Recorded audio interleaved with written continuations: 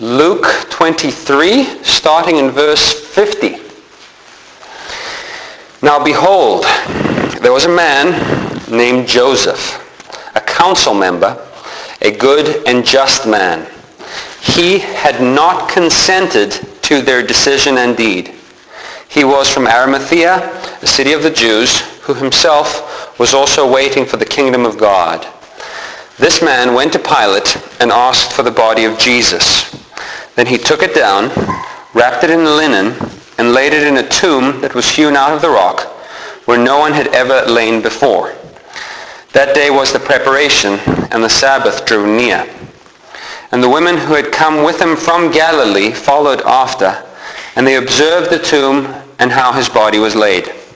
Then they returned and prepared spices and fragrant oils, and they rested on the Sabbath according to the commandment. Today we are going to read, we are going to go through the burial of Jesus Christ, which is mentioned in all four Gospels. Why is this important?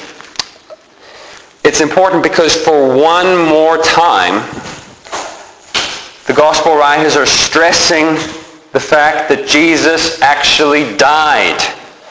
Jesus really, truly died. For the past three weeks, as we've been looking at our text, we've been talking about the importance and the implications of Jesus' death.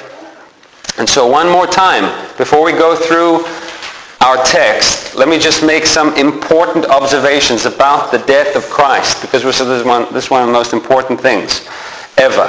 First of all, Jesus' death means that he was a real human being. First of all, you may say, well, we know that.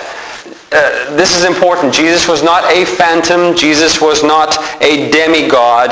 Jesus was a true, real human being. One of the earliest heresies in church history, one of the earliest heresies uh, in connection to Christianity was that Jesus was not a real man.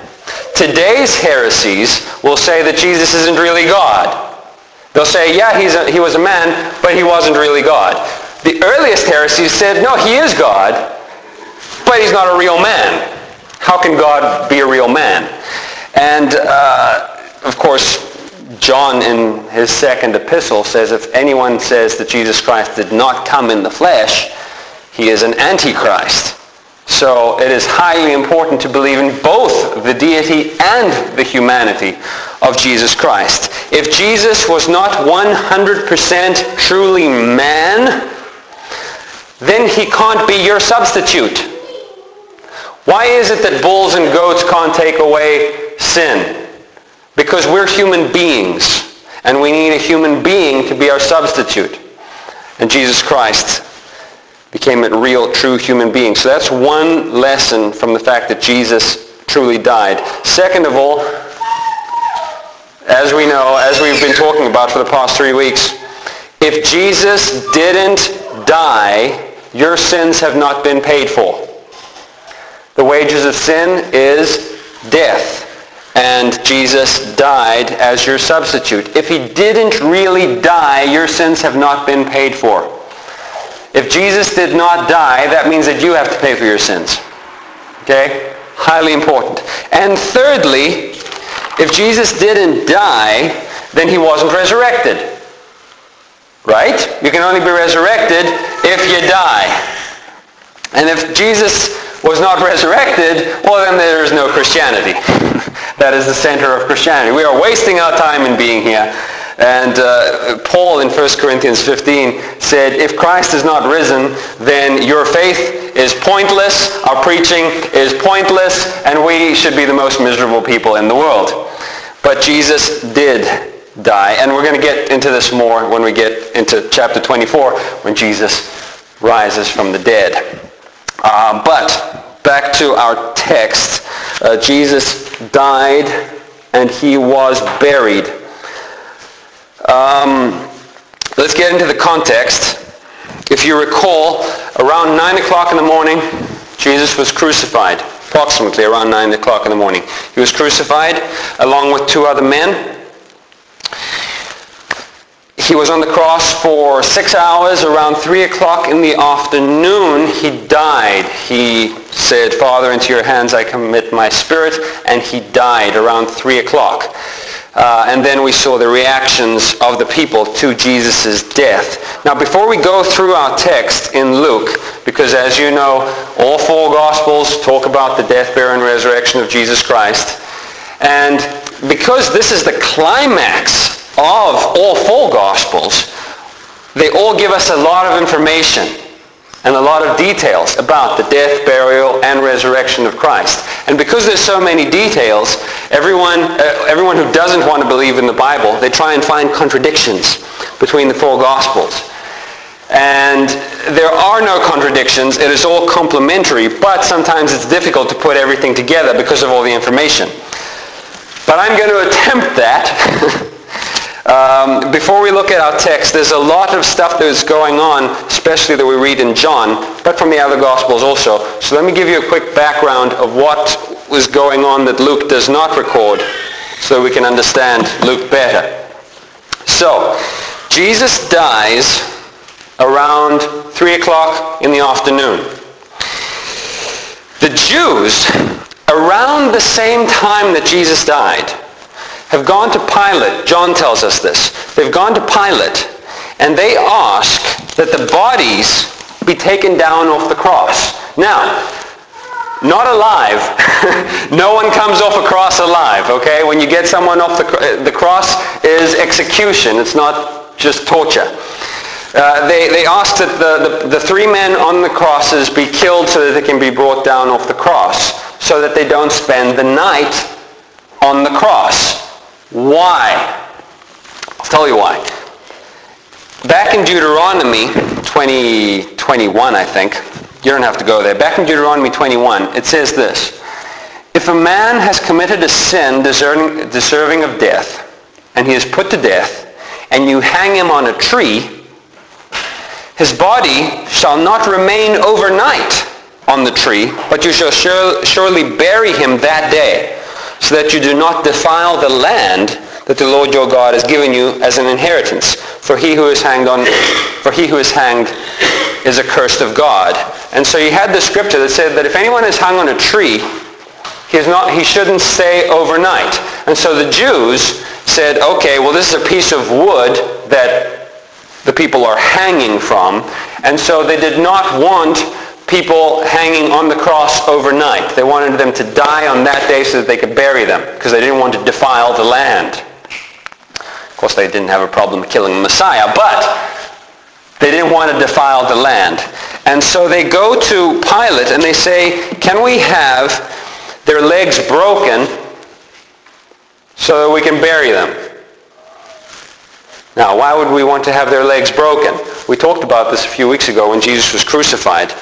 If you remember, I'll, I'll, give you a quick run through. When someone is crucified, how do they die? They're dying, well, partly uh, it could be from blood loss, but the main reason they would die is because the way that the body is hanging there, they can't breathe. It's very difficult to breathe. And in order to breathe, they would have to push up on their legs on the nail that is through the legs. They'd have to push up on, the, on their legs to be able to take a breath and then hang back down again. Okay, and then push back up, take a deep breath, and fall back down again. It was continual movement. And so if you break a crucified person's legs, he can't push up anymore, and therefore he cannot breathe, and therefore he dies quickly. What they would do don't want to get too graphic here, but what they would do is they would, the Roman soldiers would take big, huge sledgehammers, smash the guy's legs. And if they didn't die from the shock of having their legs crushed, um, they couldn't pu- push up anymore and they died pretty quick. So, having said that, Around 3 o'clock, around the time that Jesus is dying, the Jews have gone to Pilate. They say, can we have their legs broken because we want, we want them down off the cross before sundown.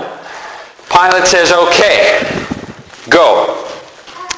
And so on their way, they're, they're on their way to go have, have the legs broken.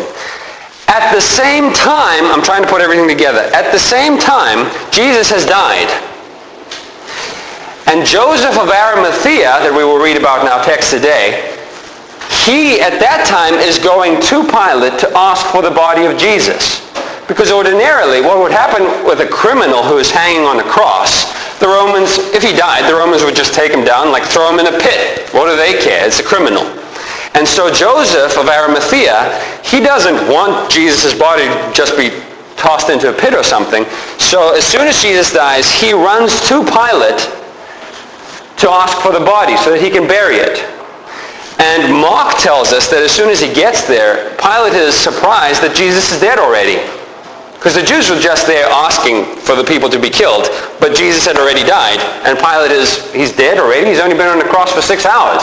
Sometimes people, it would take them days to die on the cross. And so, um, and so he was surprised that Jesus was already dead. And so he, he called for the centurion. The centurion said, yes, he's dead. So he, he allowed Joseph to take the body. Now, as these are all going on at the same time, as Joseph is asking for the body, back at Calvary, the soldiers are ready to, to break the, the guy's legs. So they go to the first guy, break his legs. They go to the second guy, break his legs. They go to Jesus, Jesus isn't moving. He's already dead. There's no point in breaking his legs. But just to make sure that he's dead, get a spear, boom, into the side, and blood and water came out, proving that he was actually dead. They didn't break Jesus' legs because he was already dead. Now, so Jesus is dead, and they want to get him off the cross and buried before 6 p.m. Because at 6 p.m. the Sabbath begins, right? And that's when the evening begins, 6 o'clock. And so he, Jesus dies around 3. It's 3.30, 4 when, uh, when Joseph asks for the body. So now you have like two hours left in which they need to bury Jesus' body really quick. So let's look at our text in Luke. Verse 50 starts off by saying, Behold. So this is something, he's saying, look, this is something astounding. This is something amazing. Behold, there was a man named Joseph, a council member, a good and just man. He had not consented to their decision indeed. He was from Arimathea, a city of the Jews, who himself was also waiting for the kingdom of God. This man went to Pilate and asked for the body of Jesus. Joseph of Arimathea is mentioned in all four Gospels that he buried Christ. He is never mentioned before, and he is never mentioned again. He is only mentioned right here, but he is so important that all four Gospels mention him. Uh, what do we know about this man? First of all, in verse 50, he says he was a council member. A council member. That's the member of the Sanhedrin. This, the same high court, high supreme court that had Jesus killed, he was part of that group. Uh, Mark tells us that he was a well-known and well-respected council, uh, council member. Uh, and Matthew tells us that he was rich, rich man, which may be the reason he was respected so much. Uh, Luke simply tells us that he was a good and just man who had not consented to their decision. They had decided to have Jesus killed. He did not agree to that. Now, was he there when they came to their verdict and they said, we need to kill him for blasphemy? Was he, was he not there? Was he there and said no and they ignored him? I don't know. But he was against Jesus being killed. Uh, we are told that he was from Arimathea, city of the Jews. We don't know exactly where that is. And it says that he waited for the kingdom of God.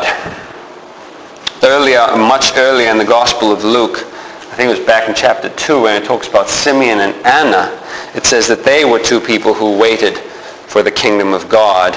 It's, it's another way of saying that they were believers. They were of the remnant of Israel. But most importantly, something that Luke doesn't tell us, that John does. John says that he was a secret disciple.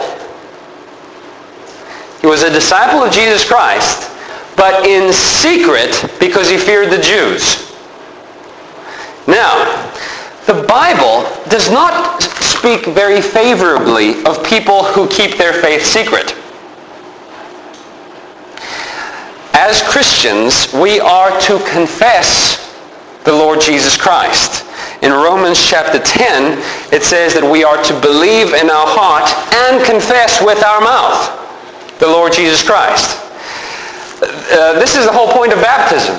The whole point of baptism is confessing your faith in Christ. I believe and I'm openly declaring my uh, allegiance and my connection to Christ. And so you get baptized.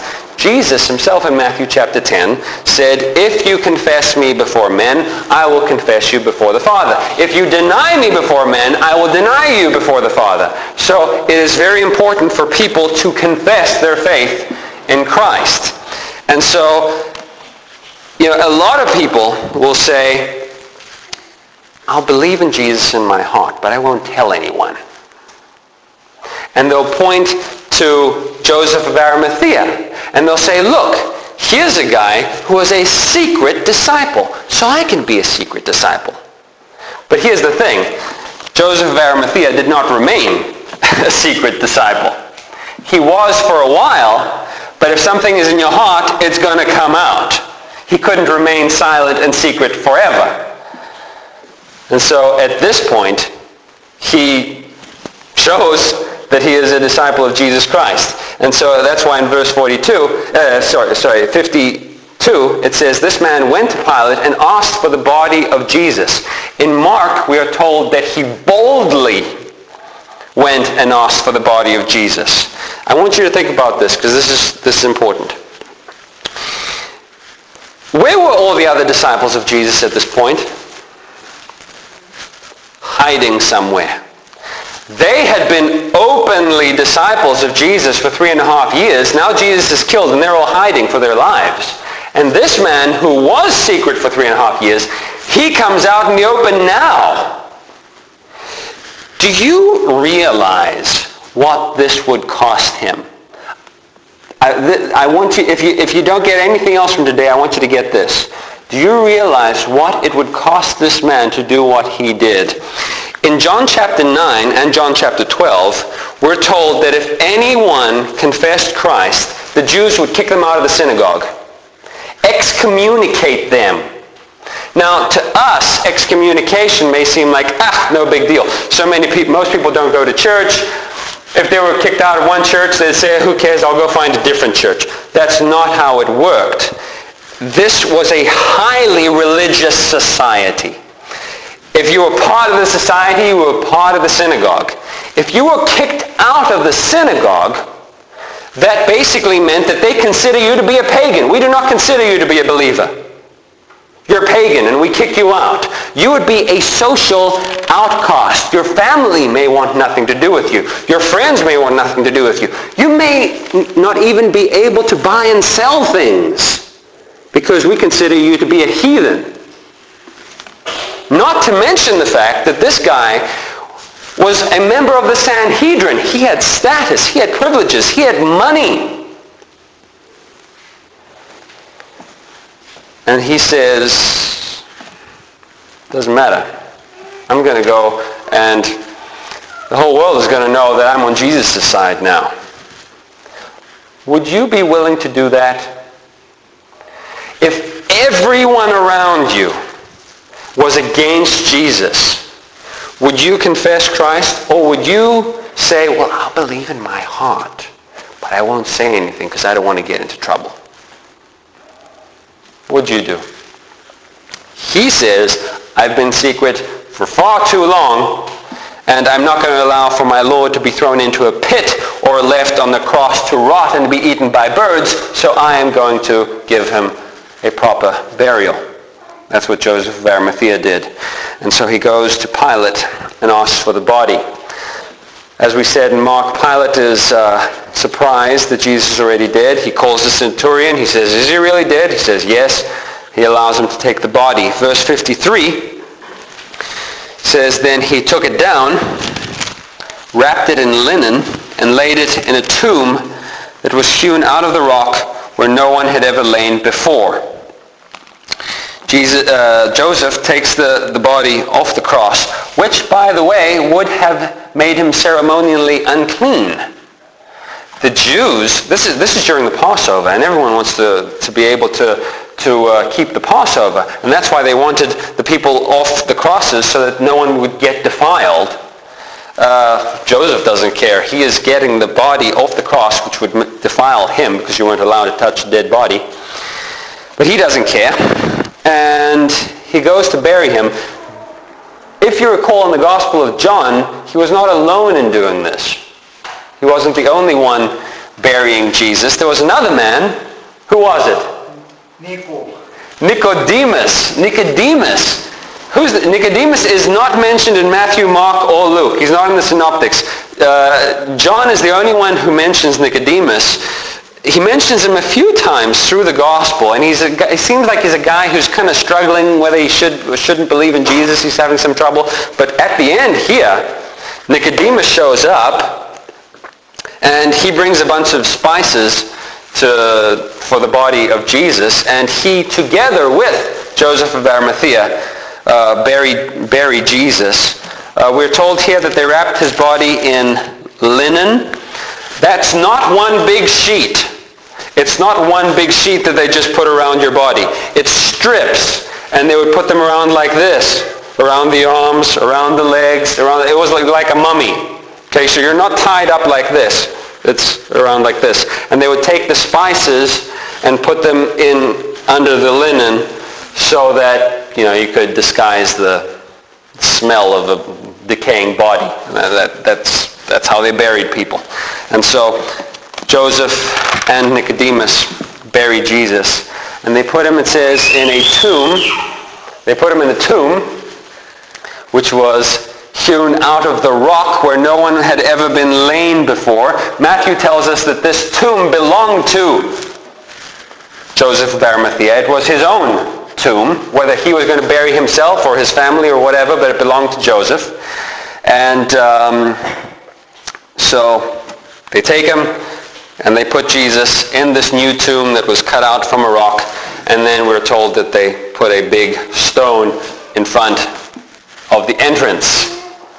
So, Jesus is dead and he is buried in a rich man's tomb, which is a fulfillment of, who knows? Isaiah 53. In Isaiah 53, that great passage where it talks about Christ dying for our sins, he was pierced for our transgressions, the iniquity that brought us peace was upon him, and by his stripes we are healed. It then says that Jesus was, uh, his grave was made with wicked people because he was killed alongside criminals, but also his grave was made with a rich man so even though he was killed alongside with wicked people, he was buried in the tomb of a rich man. Little did Joseph of Arimathea know that when he buried Jesus in his own tomb, he was fulfilling prophecy of Isaiah from 700 years earlier. So Jesus is dead and buried. Verse 54. That day was the preparation and the Sabbath drew near. The Sabbath was going to begin at 6 o'clock that afternoon. Uh, the previous day before the Sabbath is called the preparation day because you're not allowed to do any work on the Sabbath. And so if you wanted to eat or do anything on the Sabbath, you had to prepare it the previous day. So the previous day is called the preparation because you know you want to keep the fourth commandment, which says keep the Sabbath holy. So verse 55, and the women who had come with him from Galilee followed after, and they observed the tomb and how his body was laid. So Joseph and Nicodemus bury him, and all the women were following along behind because they wanted to see where he was going to buried, where he was going to be buried. Why? Well, remember the whole the whole death of Christ was so quick. Everything happened in just a few hours, and so his acquaintances and like these women who are his followers, They didn't have time to do anything. They didn't have the time or the money to prepare anything.